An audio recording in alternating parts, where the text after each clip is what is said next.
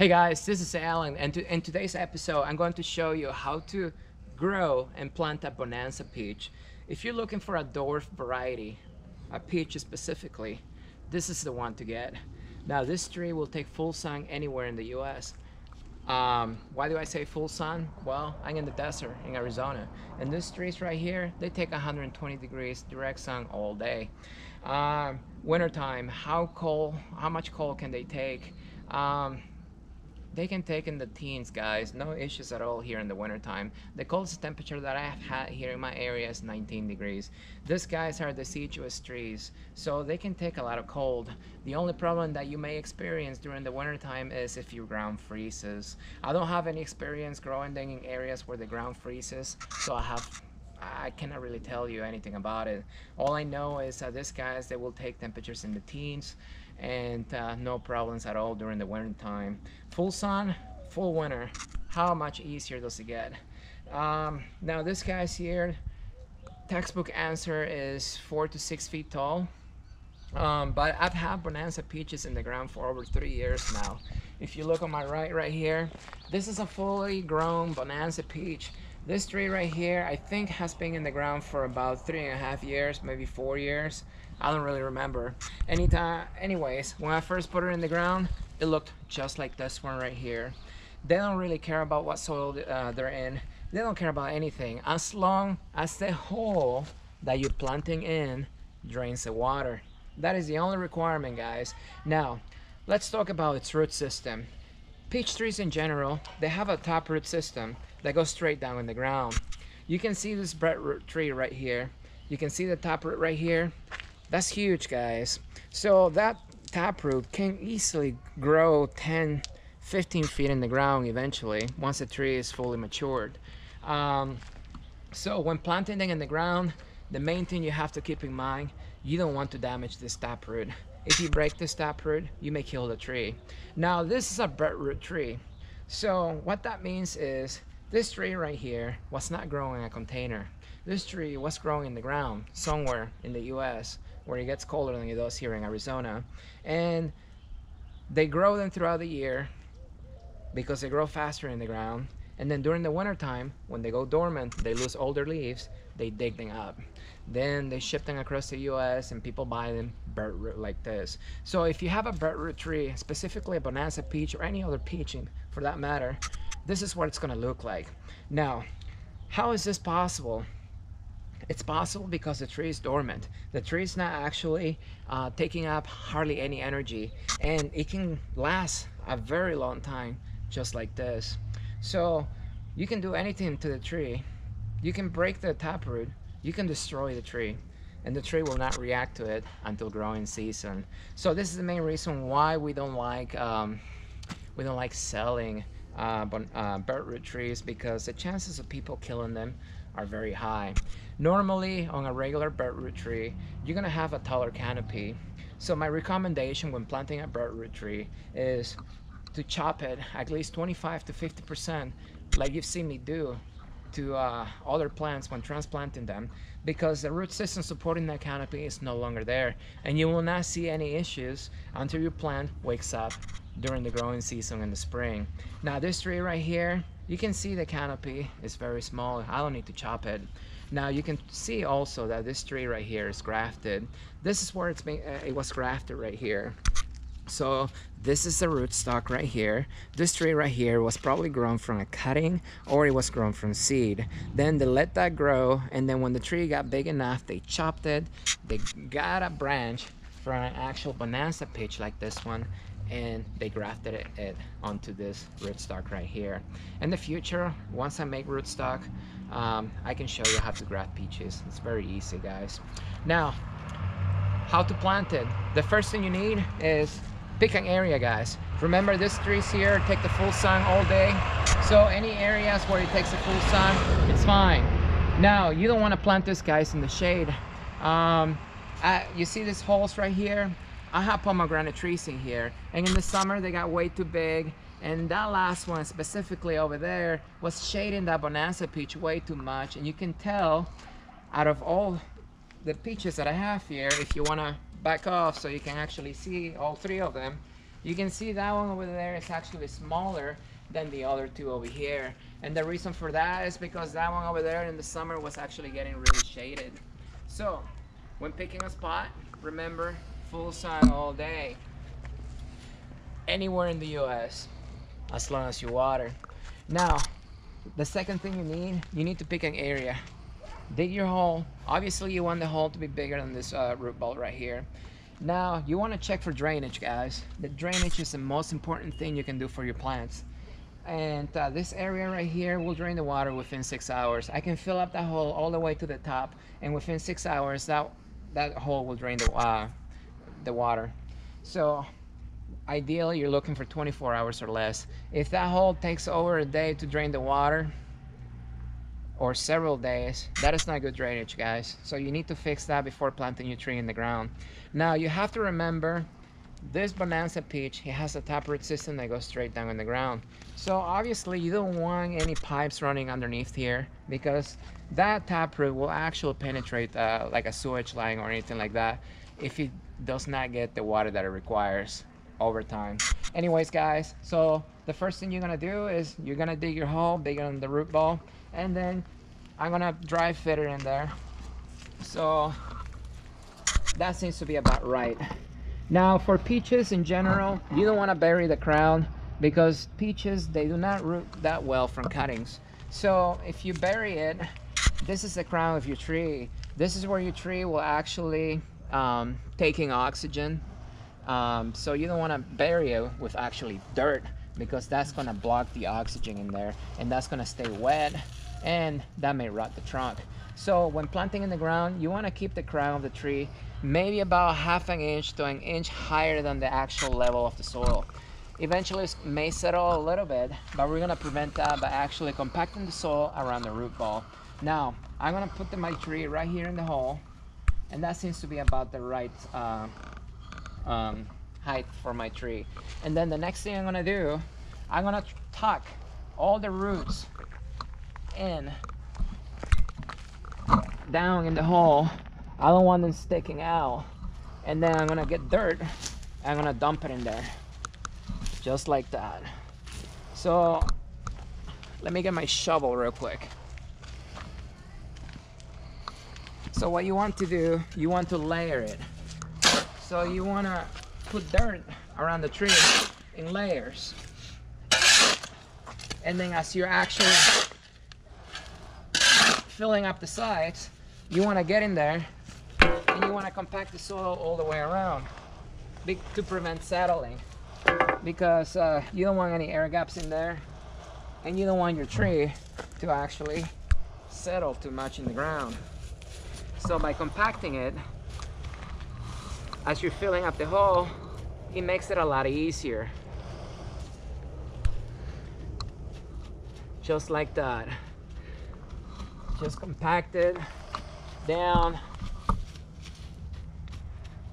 so that way the soil is not gonna settle down on you. Now let me go ahead and put another layer of dirt in there.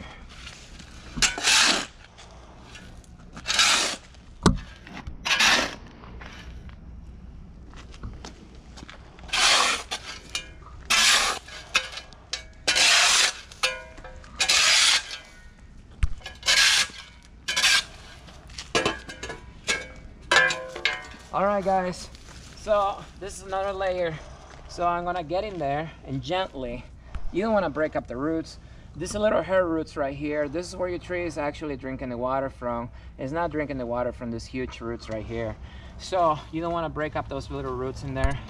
Just gently get your fingers in there and compact everything down.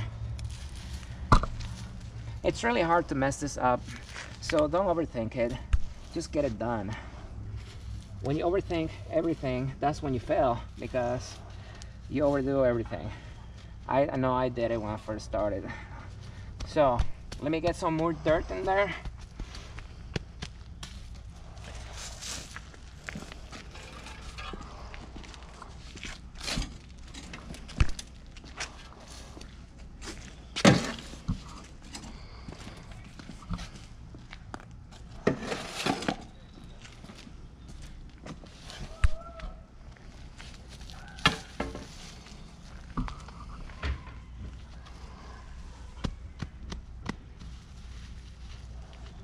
There it is, guys.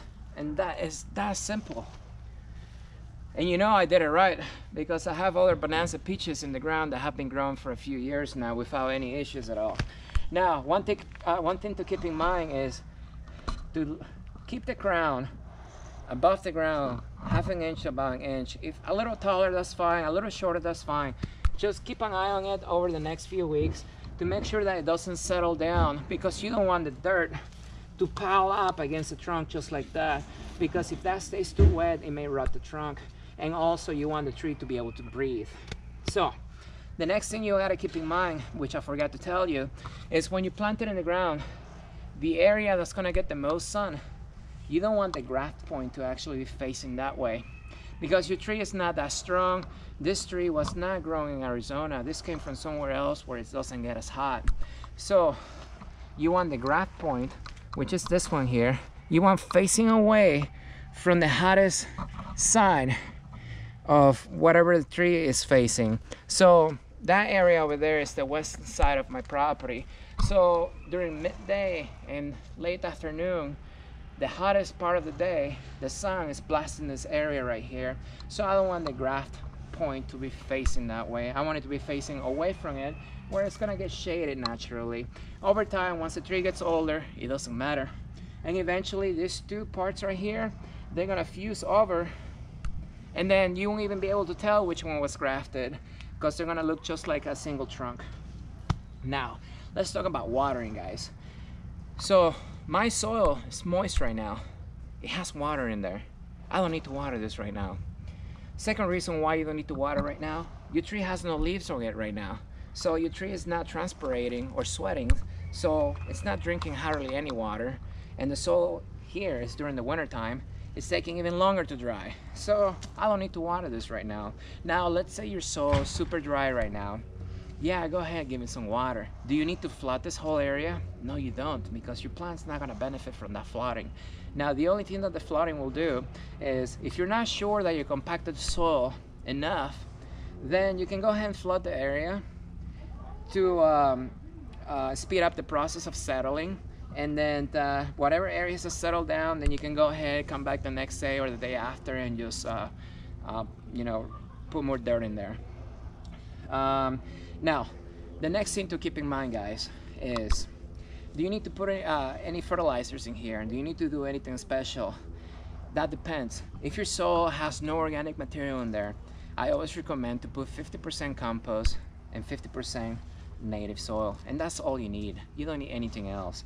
Uh, the reason I didn't put any compost in here is because I, because I had another pomegranate tree in this area and uh, this soil is being uh, fertilized with compost. You can see all the bugs in there.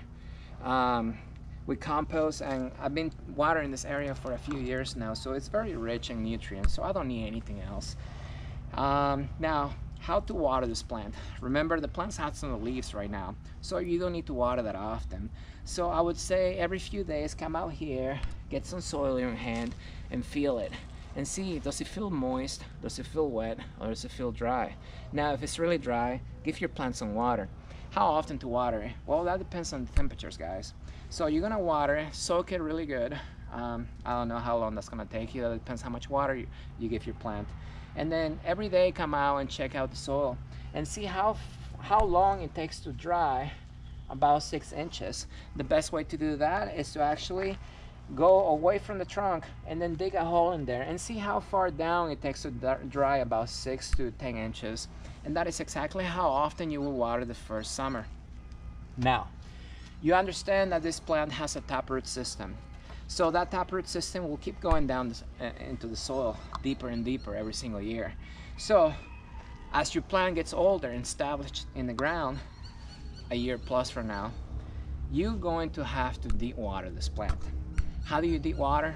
You're gonna get your hose, you're gonna put it away from the trunk, you're gonna turn it on very slowly, and you're gonna water for maybe one, two, three, four hours.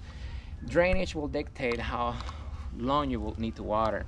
My soil has a lot of clay, so it takes the water a little longer to actually drain to the soil.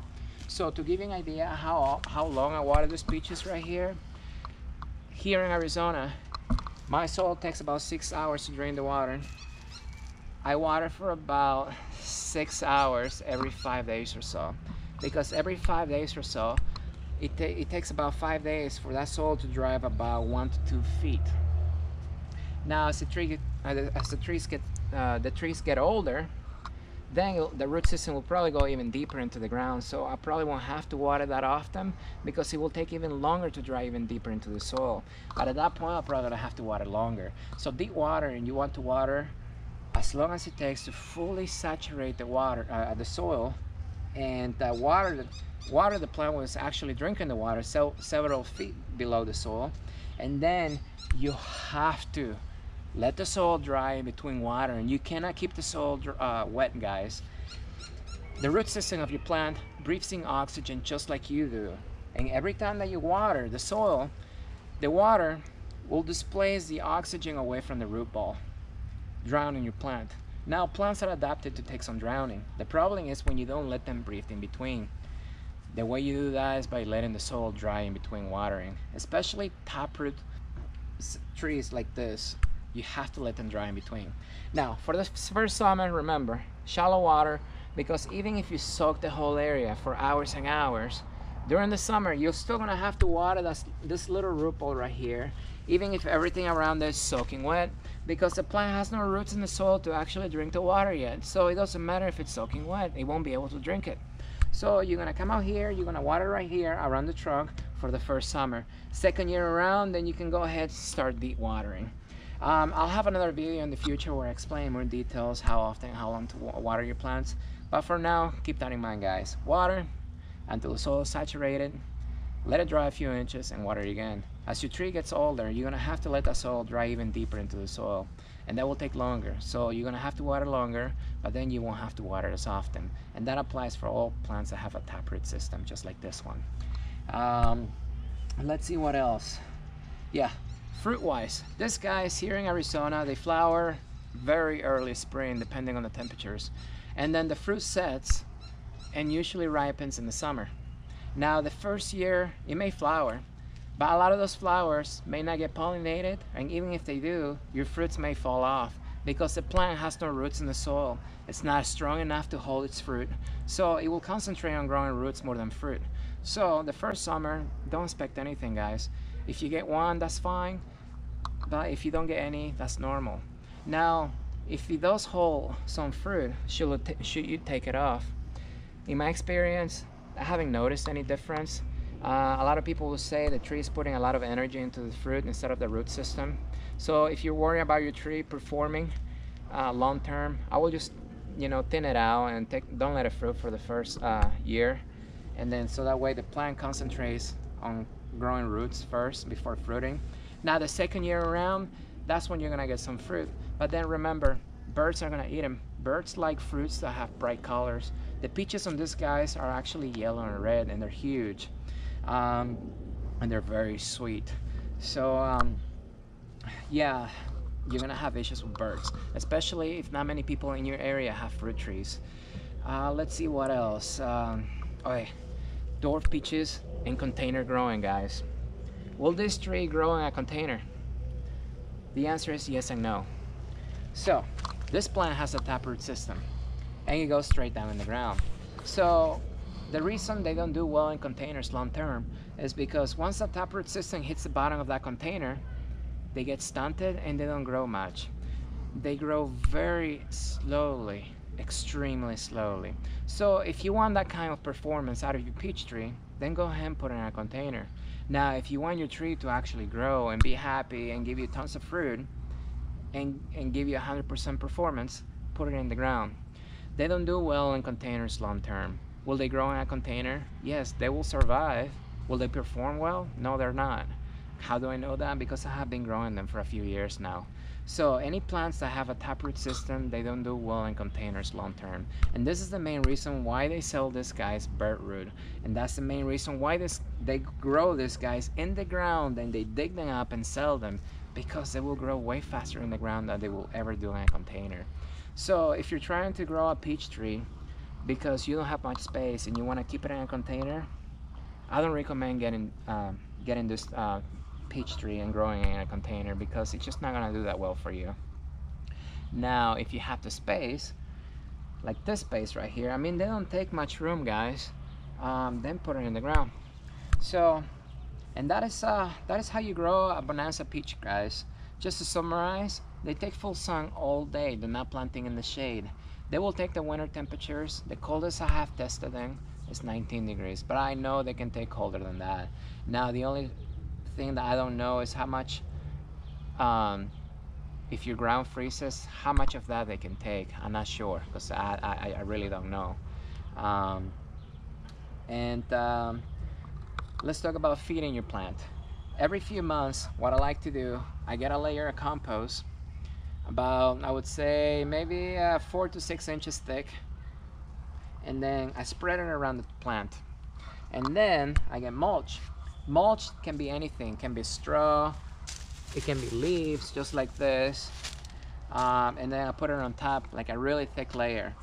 The reason I put mulch on top compost is because you're not feeding your plant directly when you put compost in the ground or warm poop or whatever poop. What you're actually doing, you're feeding the living organisms in the soil.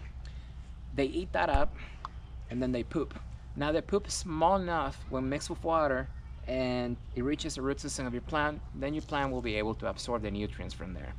Until then, your plant will not be able to eat it. So that is the main reason why you want to keep that compost moist. Here in Arizona, we get extremely hot during the summer. The evaporation rate is extremely high. So you want to do everything possible that you can do to keep that soil moist. And the only way that I can do, do that here locally is by putting mulch on top. And then what I do, that mulch and compost will break down over time and then I just keep layering it. I put another layer of compost, another la la layer of mulch. Do you have to mix it up? No, you don't because everything mixes itself by itself. So you don't need to mix anything up. Just layer it and you're good to go. And I probably do that maybe two to three times a year. And I do the same thing for all my plants. And I have peaches in the ground, I got pomegranates, I got mango trees, I got longan, I got avocado plants, I got bamboo plants, I got everything in the ground and everything, it's the same. So don't overthink it. This is one of the easiest plants to grow here in our area. Um, if you're planting this in the summer and this was in a container, root it, then the process is the same, guys. Just take it out of the pot and put it in, in, into the ground. Um, I have a lot of them in containers right now, and they will be ready probably in about three months from now. Are they gonna be bigger than this? No, they're not, but they're gonna be fully rooted in that container. I don't keep them in containers long term because they just don't grow that well. Uh, will they survive in the container? Yes, they will. But remember, they're not to perform that well in that container. That is just a temporary housing for them until they find new homes. Anyways, guys, that is it. This was how to grow a bonanza peach and how to actually uh, plant one. If you like, uh, if you like my videos, guys, uh, comment below, like the video, and then uh, I'll see you next time.